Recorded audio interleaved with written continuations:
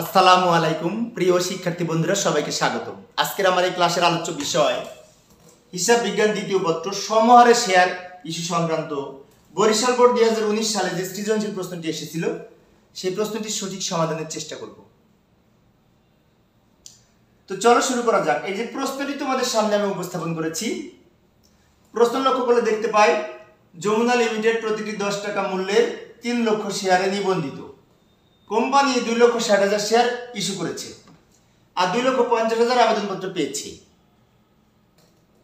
Company যথারীতি আবন্টিত হলো শেয়ারগুলি share সমূহ জনসাধারণের নিকট বিক্রয়ের উদ্দেশ্যে কোম্পানি অবলোককের কমিশন বাবদ বিশ হাজার টাকা নগদ প্রদান করতে চুক্তিবদ্ধ হয়। অর্থাৎ এখানে চুক্তিবদ্ধ হয় বলে একটা নতুন কথা রয়েছে। এই এটার জন্য একটা বিশেষ করে বিশেষ একটা বিষয় আছে। এটির জন্য আমরা শিখব আজকে। তো এই তথ্যের আলোকে ক নাম্বারে বলেছে, অবিলিখিত শেয়ার মূলধনের পরিমাণ নির্ণয় করো। উত্তর হবে পাঁচ লক্ষ টাকা। তো প্রিয় শিক্ষার্থী বন্ধুরা, অবিলিখিত শেয়ার বলতে বোঝায় কতটি শেয়ার বিক্রি করা হয়নি, এটা বোঝায়। তো আমরা এই তথ্যের আলোকে ক নাম্বারের সমস্যা সমাধান করার চেষ্টা করি। এই যে ক নাম্বারের সমস্যা সমাধানের জন্য উদ্দীপকটা উপরে নিয়ে এসেছি এবং নিচে ছক অঙ্কন করেছি। এর মধ্যে আমরা লিখব। প্রথমে লিখব অবিলিখিত শেয়ার মূলধনের পরিমাণ। বলে আমাদের মোট শেয়ার ছিল কত? এই যে আমি লাল কালি দিয়ে রেখেছি। মোট শেয়ার ছিল তিন লক্ষ, এখান থেকে এটা বিয়োগ করব। বিয়োগ করে দশ দিয়ে গুণ করব। লক্ষ্য করি? এই যে, মোট শেয়ার মাইনাস বিলিকৃত শেয়ার তো মোট শেয়ার মাইনাস বিলিকৃত শেয়ার মোট শেয়ার হচ্ছে তিন লক্ষ, আর বিলিকৃত শেয়ার হচ্ছে এই দুই লক্ষ পঞ্চাশ হাজার। আর দশ দিয়ে গুণ। তাহলে আমরা এখন লক্ষ্য করি,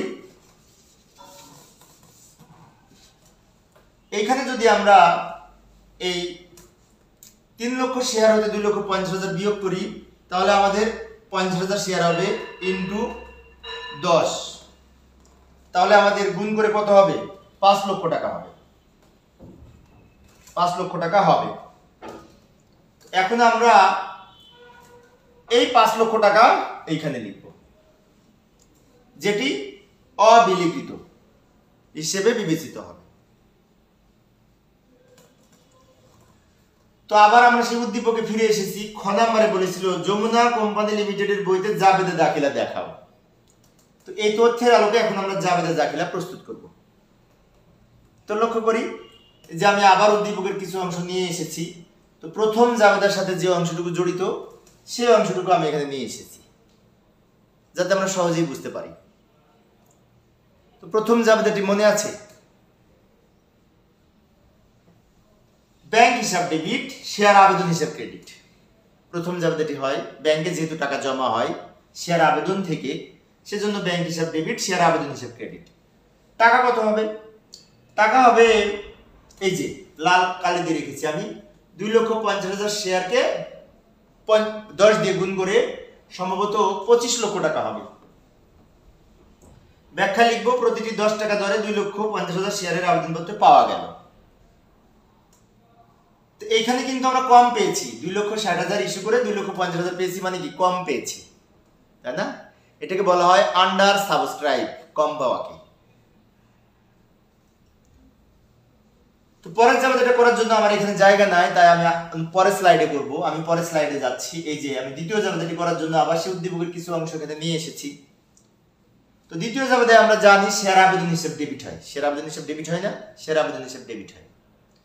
আর ক্রেডিট সাধারণত এই অঙ্কে যেহেতু অধিহার নাই, তাই শেয়ার মূলধন হিসাব ক্রেডিট হবে। শেয়ার মূলধন হিসাব, এই পঁচিশ লক্ষ টাকা লিখব আমরা প্রথম জায়গাতে যেটি লিখেছি, আর শেয়ার মূলধন হিসাব ক্রেডিট হবে এই পঁচিশ লক্ষ টাকা। এখানে কিন্তু ব্যাংক হিসাব ক্রেডিট হবে না, কারণ আমরা বেশি বেশি শেয়ার পাই নাই, অতিরিক্ত শেয়ারের কোনো টাকা পাই নাই। সেজন্য শেয়ার আবেদন হিসাব ডেবিট শেয়ার মূলধন হিসাব ক্রেডিট যে শেয়ার পেয়েছিলাম সবগুলো আমরা বিলি করেছি। ব্যাখ্যা লিখব শেয়ার আবেদনের অর্থ শেয়ার মূলধন হিসাবে স্থানান্তর করা হলো তো এটা গেল আমাদের দুই নাম্বার জাবেদা। এই অঙ্কে আরও একটি জাবেদা আছে, লক্ষ্য করি। আরও দুইটি জাবেদা হবে, খুব ভালো করে লক্ষ্য করি। প্রথমে বলেছিলাম, নতুন একটা এই অঙ্কে আইটেম আছে, সেটি হচ্ছে এই যে, চুক্তিবদ্ধ হয়। অর্থাৎ আমরা দুই লক্ষ ষাট হাজার শেয়ার যে বিক্রির জন্য জনসাধারণের নিকট ইস্যু করলাম, দুই লক্ষ ষাট হাজার শেয়ারের মধ্যে শেয়ার যদি বিক্রি না হয়, যতগুলি শেয়ার বিক্রি হবে না সেই পরিমাণ শেয়ার যাদের সাথে চুক্তিবদ্ধ হয়েছে, তারা কিনে নেবে। সেজন্য ওইটার জন্য যাবে হবে আবার এই ব্যাংক হিসাব ডেবিট শেয়ার মূলধন হিসাব ক্রেডিট এখন তোমরা হয়তো বলতে পারো যে টাকাটা কীভাবে পেলাম। লক্ষ্য করি, আমরা কিন্তু এইখানে এই দুই লক্ষ ষাট হাজার শেয়ার ইস্যু করেছিলাম। তার মধ্যে শেয়ার পাওয়া গেছে কত? দুই লক্ষ পঞ্চাশ হাজার। ইন্টু দশ টাকা। সমান দিই, এটা থেকে এটা বিয়োগ করলে কত হয়? সম্ভবত দশ হাজার হয় শেয়ার ইন্টু দশ টাকা, সমান এক লক্ষ টাকা। এই এক লক্ষ টাকা আমরা এখানে লিখেছি। অর্থাৎ ওদের সাথে চুক্তিবদ্ধ। এইভাবে হওয়া আছে যে শেয়ার যদি না বিক্রি হয়, তাহলে যাদের সাথে চুক্তি করেছি, তারা শেয়ার কিনে নেবে। যেহেতু কিনে নিয়েছে, সেজন্য আমার ব্যাংকে টাকাটা জমা হয়েছে ব্যাংক হিসাব ডেবিট শেয়ার মূলধন হিসাব ক্রেডিট ব্যাখ্যা লিখব, চুক্তি অনুযায়ী প্রতিটি দশ টাকা দরে দশ হাজার শেয়ার অবলেখক ক্রয় করেছে। এই যে অবলেখক ক্রয় করেছে, যার যে অবলেখক হিসেবে ছিল, সে ক্রয় করেছে, কিনে নিয়েছে।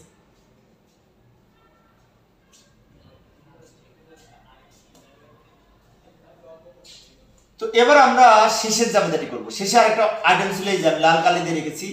অবলেখকের কমিশন বাবদ বিশ হাজার টাকা নগদ প্রদান করেছে। যদিও নগদ প্রদান করেছে, কিন্তু একটি ব্যাংক হিসেবে গণ্য হবে। কেননা কোম্পানি লেনদেন সবসময় ব্যাংকিং চ্যানেলের মাধ্যমে ট্রানজ্যাকশন হয়ে থাকে। সেজন্য আমরা এই জাবেদায় লিখব, শেয়ার অবলেখকের কমিশন হিসাব ডেবিট, ব্যাংক হিসাব ক্রেডিট। ব্যাংক হিসাব ক্রেডিট, টাকা বিশ হাজার টাকায় লিখব। এখানে ব্যাখ্যা লিখব, শেয়ার অবলেখকের কমিশন পরিশোধ করা হলো। এইভাবে আমরা এই যে অবলোককের কমিশন হিসাবভুক্ত করতে পারি। পূর্বের ক্লাসে এটি ছিল, আমি দেখিয়েছিলাম। তো আশা করি এখন তোমরা জাবেদা করতে পারবে।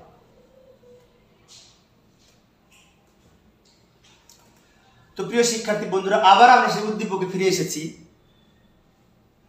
এবার আমরা গ নাম্বারে কি বলেছে লক্ষ্য করি? গ নাম্বারে বলেছে, কোম্পানির আর্থিক অবস্থার বিবরণী প্রস্তুত করো। উত্তর হবে ছাব্বিশ লক্ষ টাকা। তো চলো, এই তথ্যের আলোকে আমরা আর্থিক অবস্থার বিবরণী প্রস্তুত করি। তো লক্ষ্য করি, এই যে আর্থিক অবস্থার বিবরণী প্রস্তুতের জন্য আমরা উপরে কি লিখব? যমুনা কোম্পানি লিমিটেড এর আর্থিক অবস্থার বিবরণী। যমুনা কোম্পানি লিমিটেড এর আর্থিক অবস্থার বিবরণী। তাই না? তো যমুনা কোম্পানি লিমিটেডের আর্থিক অবস্থার বিবরণী যখন প্রস্তুত করব, তখন আমরা আমরা জানি যে সম্পদ এবং দায় দুটো অংশ থাকে। সম্পদ পাশে লিখব, প্রথমে চলতি সম্পদ। কি লিখব? চলতি সম্পদ, ব্যাংক জমার উদ্বৃত্ত। এখন ব্যাংক জমার উদ্বৃত্ত আমরা প্রথম জাবেদায় ব্যাংক হিসাবে একবার ডেবিট করেছি। তারপরে এই তিন নাম্বার জাবেদায় একবার ব্যাংক হিসাব ডেবিট করেছি, তাই না? আবার চার নাম্বার জাবেদে কিন্তু ব্যাংক হিসাব ক্রেডিট করেছি। তাহলে ডেবিট আর ডেবিট যোগ করে যদি ক্রেডিটটা বিয়োগ করি, তাহলে আমাদের এখানে কত টাকা হবে? ব্যাংক জমার উদ্বৃত্ত এখানে হবে এই পঁচিশ লক্ষ আশি হাজার টাকা। ব্যাংক জমার উদ্বৃত্ত আমরা জাবেদা থেকে যোগ বিয়োগ করে নির্ণয় করতে পারব। অথবা তোমরা ইচ্ছে করলে খতিয়ান করেও, ব্যাংক হিসাবের খতিয়ান করেও জাবেদা থেকে এই ব্যাংক হিসাবের উদ্বৃত্ত নির্ণয় করতে পারবে। এবার আমরা কি করব? অসমন্বিত ব্যয় লিখব। অসমন্বিত ব্যয় লিখব। তো অসমন্বিত ব্যয় এই অঙ্কে একটি ছিল, সেটি হচ্ছে অবলোককের কমিশন লিখব অবলোককের কমিশন তো এই যে আমি এখানে উদ্দীপকের অংশটা নিয়ে আসলাম, এই যে অবলোককের কমিশন বিশ হাজার টাকা। এখানে লিখব অবলোককের কমিশন এই বিশ হাজার টাকা। তারপরে এখানে একটি দাগ দিব। এই দুটো যোগ করে ছাব্বিশ লক্ষ হবে। নিচে ডাবল দাগ দিব। এখানে লিখব মোট সম্পদ। আমাদের সম্পত্তির দিক শেষ হলো। এবার লিখব শেয়ার হোল্ডারদের দায় সমূহ শেয়ার হোল্ডারদের দায় সমূহ প্রথম অনুমোদিত মূলধন হবে। অনুমোদিত মূলধন কত টাকা হবে, তাই না?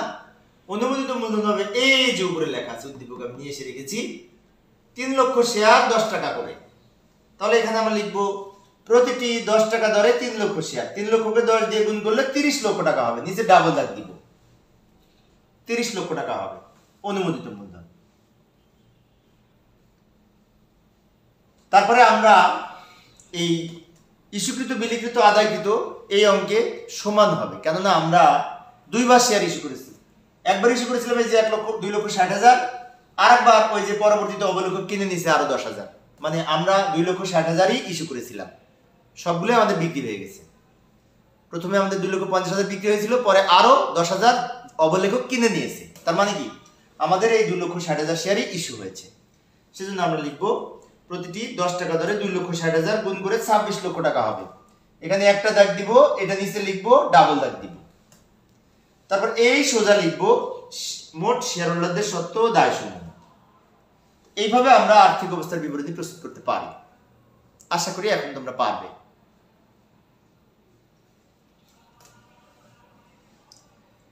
তো প্রিয় শিক্ষার্থী বন্ধুরা, এই ছিল আমার আজকের আলোচনার বিষয়। আমার পরবর্তী ক্লাসের আলোচ্য বিষয় হচ্ছে, রাজশাহী বোর্ড দুই হাজার সতেরো সালে যে সৃজনশীল প্রশ্নটি এসেছিল, এই প্রশ্নটির সঠিক সমাধানের চেষ্টা করব, দেখার আমন্ত্রণ রইল। তো পরিশেষে, সবাই ভালো থাকবে এবং সুস্থ থেকো। এই কামনায় খোদা হাফেজ।